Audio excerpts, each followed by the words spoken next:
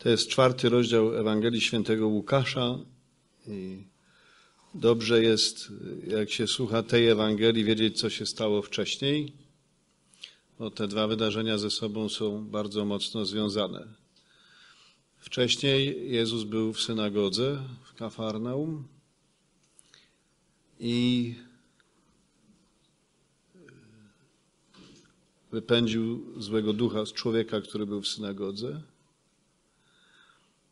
Ale najważniejsze w tym wydarzeniu było, był za, to był zachwyt ludzi nad Jezusowym Słowem. On jest dwukrotnie tam e, wypowiedziany przez ludzi i zapisany przez Łukasza. I to jest niesamowite, bo Łukasz nie napisał, o czym Jezus mówił w synagodze. Podobnie święty Marek, bo oni dwaj relacjonują to, to, to, to wydarzenie.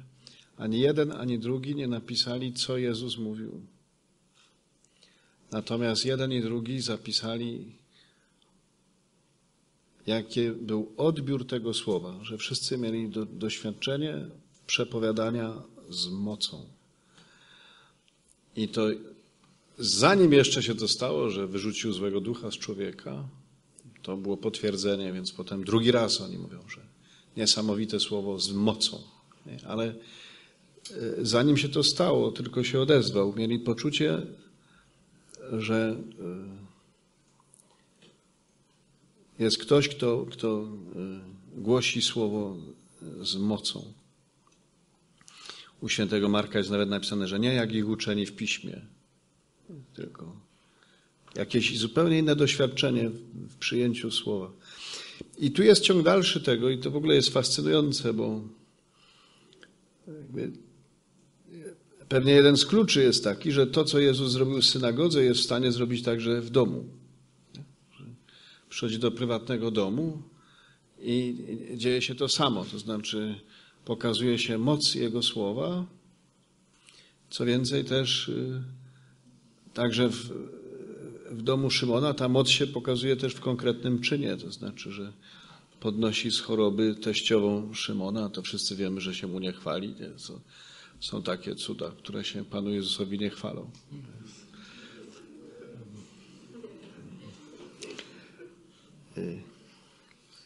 Tu tę moc słowa w uzdrowieniu teściowej Szymona widać dokładnie, bo e, u świętego Marka jest, że podniósł ją za rękę. I powie, rozkazał gorączce, ale podniósł ją za rękę. Natomiast u Łukasza Pan Jezus ma większy dystans do tej teściowej i to chyba nie chodzi o to, że się nie chce zarazić. Natomiast y, tylko staje i rozkazuje gorączce, nie? Znaczy nie ma żadnego gestu, jest tylko słowo, jest tylko słowo. I tym słowem on y, podnosi ją z choroby.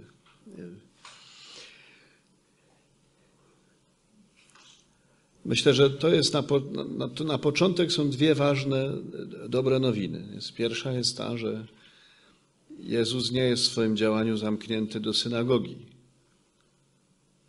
tylko że jest równie mocny i równie skuteczny e, w prywatnym domu, w prywatności ludzkiej, nie? tam gdzie człowiekowi życie schodzi na co dzień. Nie? Że to, e, to nie jest tak, że żeby doświadczyć mocy Jezusa, musisz się wybrać do kościoła. Nie jest tak, ponieważ On jest z nami wszędzie i wszędzie jest z tą samą siłą, z tą samą mocą, z tą samą miłością, z tą samą skutecznością. Wszędzie jest mocny. Y, I to jest pierwsza dobra nowina. Druga jest właśnie ta, że y, Kolejne wydarzenie, które zwraca uwagę na moc słowa Jezusa. Jezus nie mówi po to, żeby sobie pogadać. Jezus nie mówi po to, żeby sobie pogadać. To nie jest gadanina. Także wcale nie mówi po to, żeby zabłysnąć wiedzą. To... Natomiast Słowo wypowiadane przez Niego jest narzędziem Jego miłości i miłości, która jest sprawcza, która zmienia człowieka.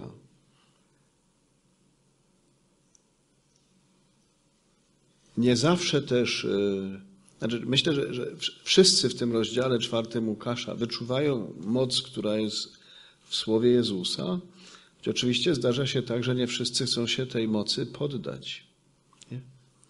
Ale to jest jakby inna, inna historia.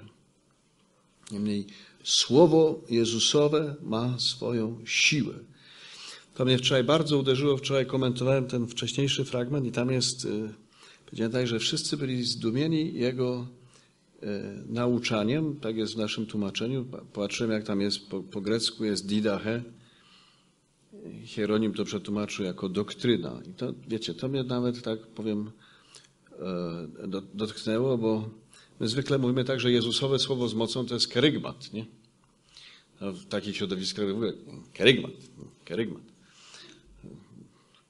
Na, na, na, na, jednym z kongresów Nowej Ewangelizacji w trzeci dzień jakiś młody człowiek wstał mówi, kiedy wreszcie będzie o kerygmacie, nie? Trzy dni było, ale nikt nie powiedział, że jest zgłoszony kerygmat, więc gość był trochę zagubiony. Ale to jest to... To tak było, słowo honoru. I, ale to jest to nasze przekonanie, że tak, karygmat to nie, to jest, to jest to nasze przysłowie, że karygmat to nie działa tylko wtedy, kiedy się go nie używa. Nie? E, okej, okay. natomiast tu jest, tu nie ma karygmatu. Jezus nie, nie, w Kafarnaum nie głosi karygmatu, głosi jakiś kawałek doktryny, nauczanie, didache. Nie? To my mówimy, to już jest to nudziarstwo, które przychodzi po kerygmacie, nie? A tu się okazuje, że to jest słowo, które jest z mocą, pod warunkiem, że, że, że to rzeczywiście jest słowo Jezusowe. To jest słowo od Jezusa, ma swoją siłę. Ono nie jest tylko dla zbudowania czyjejś wiedzy.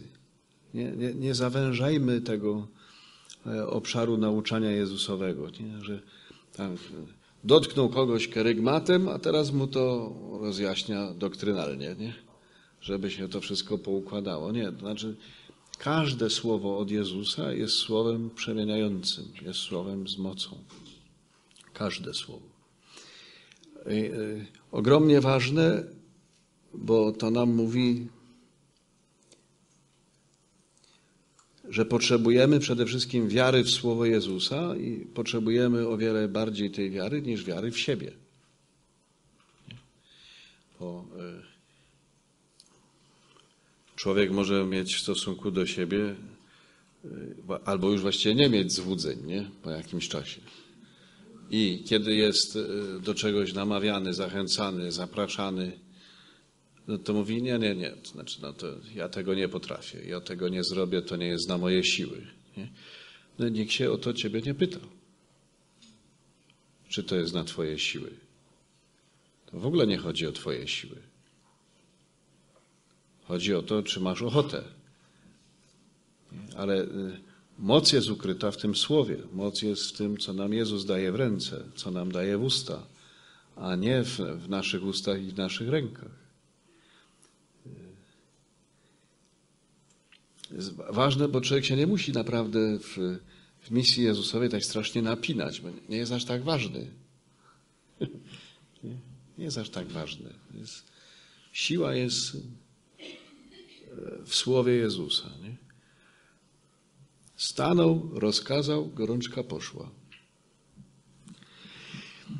I e, to jest bardzo piękna, dobra nowina, a potem ten tekst staje się bardzo mocny dla wszystkich, którzy chcą w kościele przepowiadać, albo nie w kościele, tylko w domu. Bo ta scena jest w domu. Nie? Synagoga to było trochę wcześniej. Był w synagodze gość, który chciał mówić. I nawet krzyczał. Krzyczał: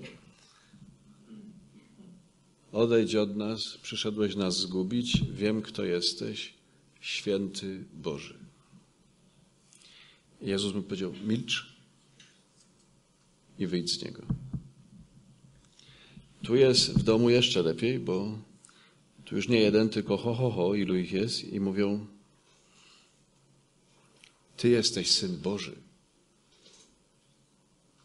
A Jezus im zabrania mówić.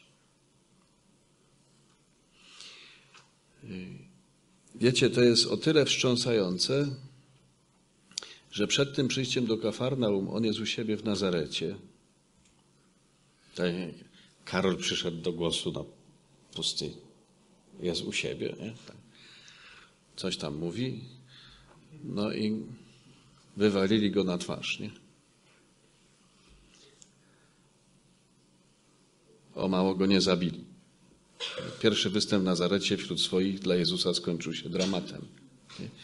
I e, Ewangelia mówi, że on zszedł do Kafarnaum.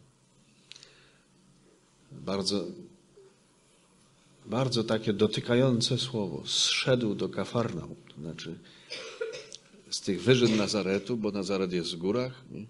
zszedł do Kafarnaum. Kafarnaum jest nad Jeziorem Galilejskim w depresji. To jest 150 metrów poniżej poziomu morza. To wiecie, to znaczy właśnie go o mało go nie zabili, wywalili, uznali za wariata. No i on ma takie doświadczenie odrzucenia, zrównania z ziemią i pod ziemią. I teraz przychodzi do tego Kafarnaum i w Kafarnaum gość krzyczy, ty jesteś święty Boga. Idzie do domu Szymona, tu cała banda krzyczy, ty jesteś Syn Boży. No nikt o nim tego jeszcze nie powiedział nigdy. Nikt tego o nim nie wie. Rozumiecie? Nikt tego o nim jeszcze nie wie. Jest, jest pierwsza uroczysta proklamacja, kim on jest. Wreszcie ktoś mówi: Święty Boga, Syn Boży. A on mówi: milcz. Zamknij się.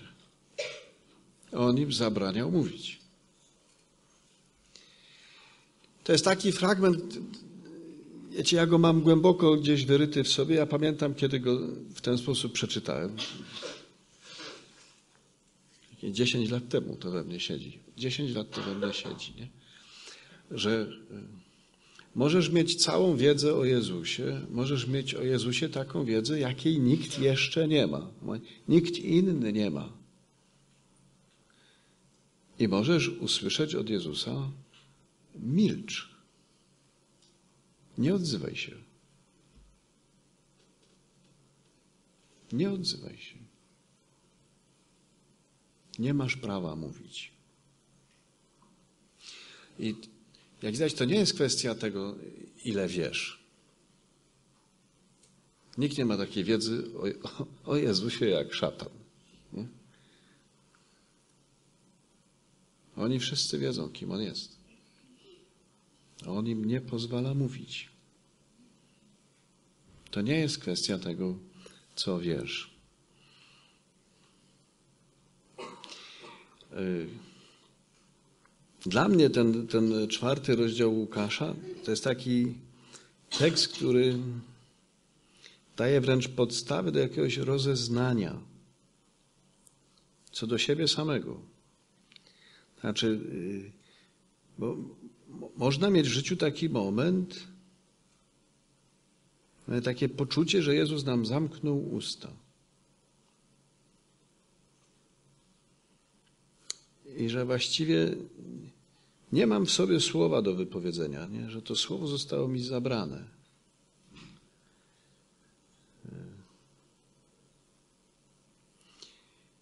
To, I to są momenty bezcenne właściwie, bo to są takie momenty, w którym Chrystus mi mówi: popatrz w siebie. Popatrz w siebie, bo ty wiedzy ci nie brakuje. No, już komu jaką? Mnie nie brakuje. I masz dość, nie masz słowa. Masz wiedzę, nie, nie, nie masz słowa. Jezus zabrał ci słowo. Mówi milcz. I jak mówi milcz, to mówi popatrz w siebie. Znaczy, jakiemu duchowi ty się poddajesz? Jaki duch miałby przez ciebie mówić? To jest bardzo mocne i to jest, wiecie, to ja nawet używam takiego słowa, to jest egzorcyzmujące dla człowieka. Taki moment, kiedy ci Jezus powie milcz, jest egzorcyzmujący. To znaczy Jezus mówi, chce, chce cię leczyć w tym momencie. Chce cię leczyć, to znaczy chce wypędzać z siebie wszelkie możliwe złe duchy. Nie? Bo dokąd tego nie zrobi, nie masz prawa mówić. Bo, bo wtedy się zachowujemy tak jak ci opętani, którzy krzyczą: Jesteś syn Boży, jesteś święty Boga, i wypowiadają to słowo z przerażeniem. Nie, ten, ten pierwszy w synagodze mówi: Przyszedłeś nas zgubić. Wiem, kto jesteś. Przyszedłeś nas zgubić. Nie?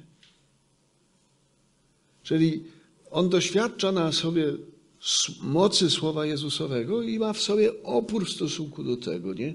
Odrzuca to, to, tę siłę, nie? tę siłę pociągającą do komunii z Jezusem. Nie? On to odrzuca. Mówi, to jest dla mnie zguba.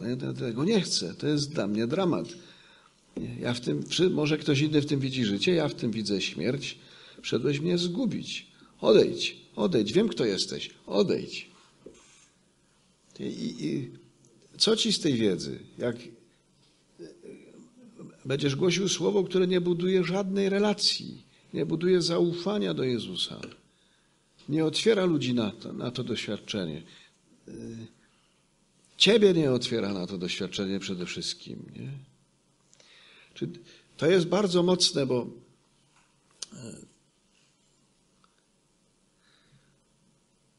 mamy doświadczenie Światowych Dni Młodzieży, takiego rozbudzenia powszechnego do ewangelizacji.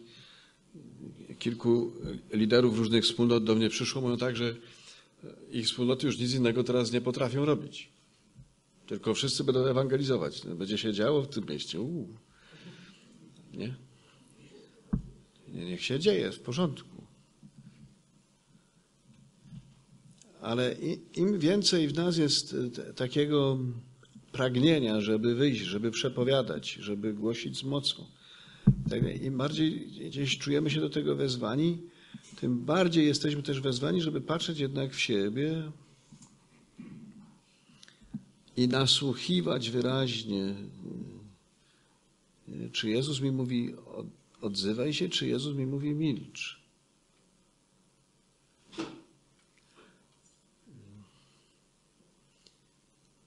Nie można przepowiadać słowa, kiedy mam w sobie nieświętego ducha. Wiedza tu niczego nie załatwia. Można się nauczyć teologii, można mieć tam te wszystkie tytuły przed nazwiskiem. Ta wiedza niczego tu nie załatwia.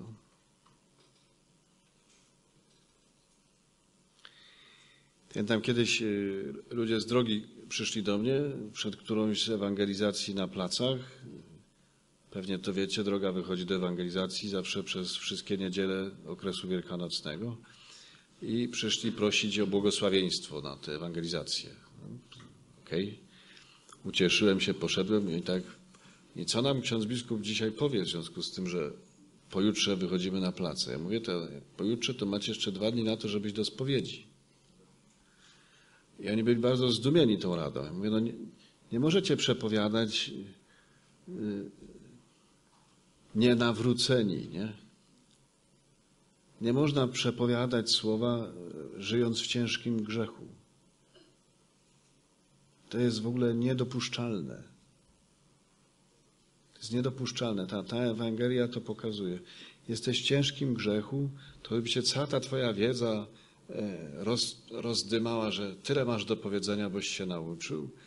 To przy odrobinie nasłuchiwania rzeczywistego usłyszysz od Jezusa, że ci mówi milcz. Nie mów. Nie mów. I jak widzicie, to jest reguła y, i w synagodze, i w domu. I w synagodze, i w domu. Jesteście tak cudną wspólnotą, że to najlepiej to było przychodzić co tydzień, żeby się na was napatrzeć. Nie? Fantastyczni, cudni, młodzi ludzie, młode rodziny, dzieci rosną, no po prostu poezja.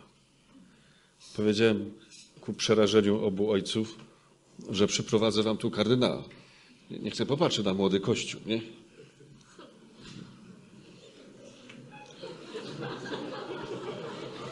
Jedyna reakcja była, mamy kilka dzieci, będzie miał kto powiedzieć wierszyk.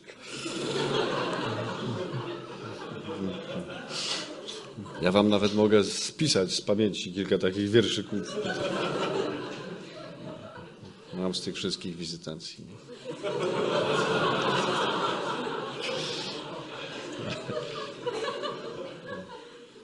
Ale czujecie to, co się dzieje w waszych domach? Co to jest innego jak, jak głoszenie słowa? Jak przepowiadanie, jak przekaz wiary? Co to jest? Nie? Jak nie to? Oczywiście, że to. W domu się dzieje też, nie? Jezus głosi w domu słowo z mocą. Ale jak chcesz być narzędziem tego przekazu Jezusowego, to słuchaj, czy on ci pozwala mówić, nie? Czy ci nie mówi czasem milcz. Bo to jest z jakiegoś innego ducha. Nie wystarczy wiedza, nie wiem, doświadczenie, cokolwiek. Nie, nie wystarczy. Masz mówić w Duchu Świętym, masz głosić w Nim. Nie? I, i, inaczej jest milcz, nie odzywaj się. To jest mocna Ewangelia. Ona jest bardzo piękna, bo z jednej strony mówi tak, że Jezus nam zawierza swoje słowo z mocą, słowo, które uzdrawia, słowo, które wskrzesza, słowo, które właśnie egzorcyzmuje, słowo, które nawraca, słowo przemieniające. Zawierza nam to słowo. Chce, żebyśmy mówili, żebyśmy w Jego imię mówili. Chce. Daje nam to. A i, i to słowo jest silne. Nie, nie, mówię, nie liczy się nasza siła, nie liczy się nasz autorytet, nie liczą się nasze zdolności. Jest słowo, które ma moc samo w sobie. I to jest niezwykłe, to jest przepiękne. Nie? Ale jest też mocny fragment tej Ewangelii, nie? że nawet kiedy ty wiesz, że to jest Syn Boga i że, a obok masz ludzi, którzy nie mają o tym bladego pojęcia, to jeszcze sama ta wiedza nie wystarczy, żebyś im to mówił, tylko Jezus mówi e, milcz. W niektórych sytuacjach mówi milcz. Nie pozwala mówić. Nie pozwala mówić, nie? I to jest taki moment do refleksji dla siebie, dla mnie, dla każdego, dla mnie. Nie? Czy ja nie potrzebuję jakiegoś rzeczywiście radykalnego nawrócenia, czy ja nie potrzebuję powrotu do Jezusa, czy ja nie potrzebuję otwarcia się na Ducha Świętego, że za mało we mnie jest modlitwy, za mało we mnie jest adoracji, za mało we mnie jest komunii z Nim. Nie? Gonię za czymś kompletnie innym, wiem, otwieram w sobie miejsce dla e, zła. Nie? I e, jak to się dzieje, Jezus mówi: Nie odzywaj się że mnie znasz. Nie, nie przepowiadaj. Ewangelizujcie ile potraficie, ile możecie. Jako wspólnota z innymi, każdy w domu osobiście i tak dalej. Nie tylko e, czujcie też w tym wezwaniu do ewangelizacji takie wezwanie, które mówi: zobacz w siebie, popatrz w siebie, popatrz. Nie wystarczy, że wiesz żebyś miał prawo to robić. To jest, mówię, to jest tak wstrząsające, bo e, pierwszy raz ktoś o nim mówi, kim on jest. Do tej pory e, wszystkie wypowiedzi na jego temat były błędne, były drwiące, wyrzucające. Tu jest ktoś, kto wie, ma i, i chce powiedzieć, a Jezus mówi, nie pozwalał im mówić. To jest, to jest bardzo takie dotykające. Nie wiem, czy was to dotyka, czy nie. Ja, ja pamiętam moment, siedziałem w Kafarnaum i czytałem ten tekst. Siedziałem w Kafarnaum w kościele, który jest na miejscu domu Piotra. I, i tak mnie wtedy rąbnęło. Nie?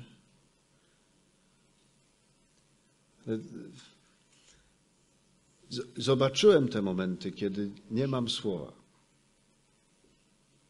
Zobaczyłem je bardzo łatwo zobaczyć takie momenty.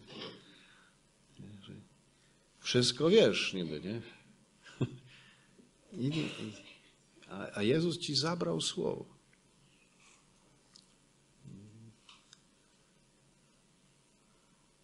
Jakby cz- czujesz, że jakbyś to słowo powiedział, ono będzie bez mocy zupełnie.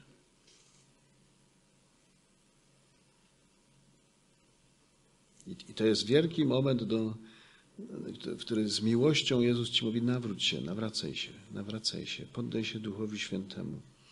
Nie możesz w ten sposób, nie? w takim stanie nie możesz przepowiadać. To, gdzieś tam mam w sobie takie poczucie, nie wiem, ja jadę gdzieś rekolekcję głosić, idę do spowiedzi. Nie chcę tego robić bez. I to y, z jednej strony chodzi o to, żeby mieć w sobie doświadczenie nie, bycia podniesionym, skrzeszonym, nie, zmartwychwstałym z Jezusem, ale też z drugiej strony właśnie nie, mam we mnie, jest we mnie takie przekonanie, nie, nie, nie, nie mogę w grzechu. To jest tak, że my wiemy na przykład, nie, że nie wiem, nie mogę w grzechu odprawiać, nie mogę w grzechu spowiadać. Ale wydawałoby się, no, mogę w grzechu mówić, nie? To jest święte słowo z mocą. Nie możesz, nie, nie, nie możesz przepowiadać słowa w grzechu. W nawróceniu tak. W nawróceniu tak, a nie- w grzechu. No, to tyle. Piękne, ale i mocne. Piękne, ale i mocne. Takie. Stawiające trochę do pionu z kanapy. Thank you.